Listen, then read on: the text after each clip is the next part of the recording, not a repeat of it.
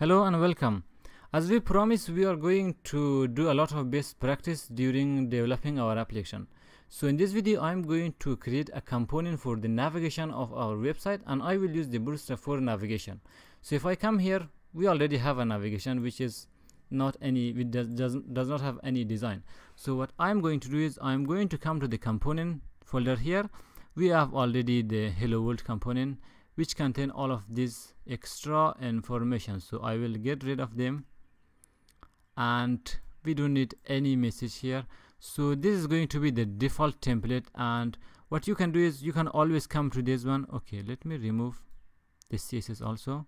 We don't need that. You can come always to the hello world component and control shift. Save. You can save as this one as any component you are going to create for your application. And then you can customize it so what i'm going to give it we can give it a name of navbar or navbar dot vue that's it and here is the navbar. You can just give it a name of navbar. When you export and import it is very important that you give it a name and you can uh, take this from the name you gave here. As well as you can you don't need to have this one the hello but you can give it any custom name so later you can design it with bootstrap so what you can do is we can come to the documentation. I will search for the navbar here is the navbar and i will take one of the examples they have here. This is going to be the basic example. You click on the copy and of course i will customize it. So i will put the code here. I don't need the form here but let it be there. The form should be there. We will remove the disable and the link the drop down which is going to be this one I believe. So the home and disabled okay we will remove this too and it should work just fine as well as we do need this one.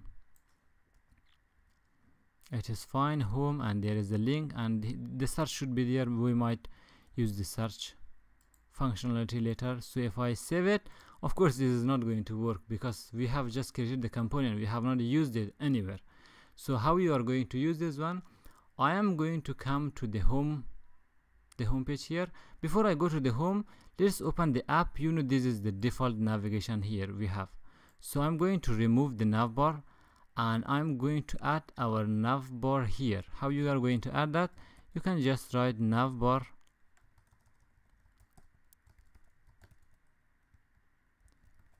component here. We didn't import it here. So what you can do is there are different ways you can import it. The best way to import like if you want to use this anywhere in your application as we have already discussed you can import it globally. How you can do that one? You can open the main.js here. You can import it using the Vue.component so how you are going to do that? You write Vue dot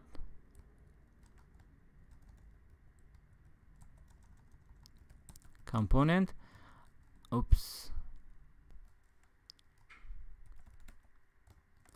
And this is going to accept two parameters the first parameter is going to be the name of your component and the second parameter is going to be the link or the reference to your component. So the name is going to be navbar and you can require in the same place. And what it is going to do is it is going to the component. You can you can give it the current directory go to the component and here we have navbar.vue so what you can do is you can save it for now. If I come here it didn't work. We import that and let's see if it is going to render it. No it didn't. So if you check out the compiled version it did compile everything down but it is not showing here. If it is the same for you what you can do is you can write default at the end of the oops I think the spelling is wrong. Default. Yeah it's correct. If you save it this time and you come here let's see yeah it is working just fine. Now why it work with the default? You append default to the require function. It is because of the naming you put here.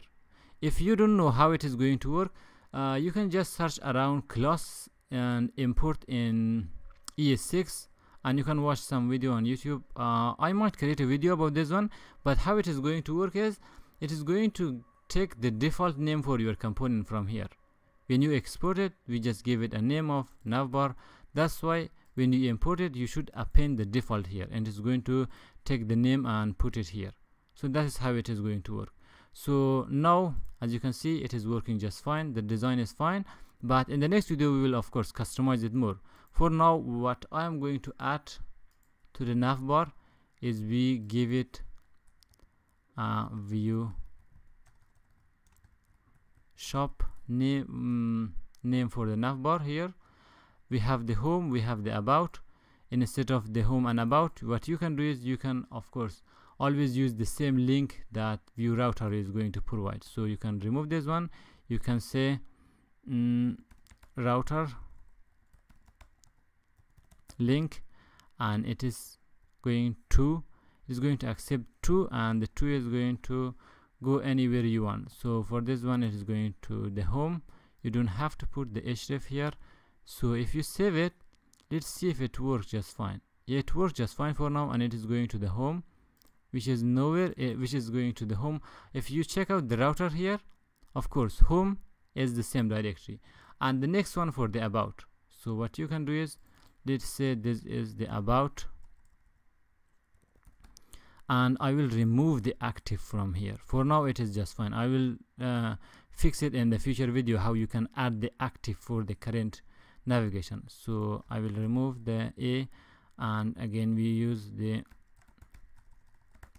router link and it is going to about. So if you save it let's see if it compiled down if it is stuck here okay we have an error so let's see what is the error here.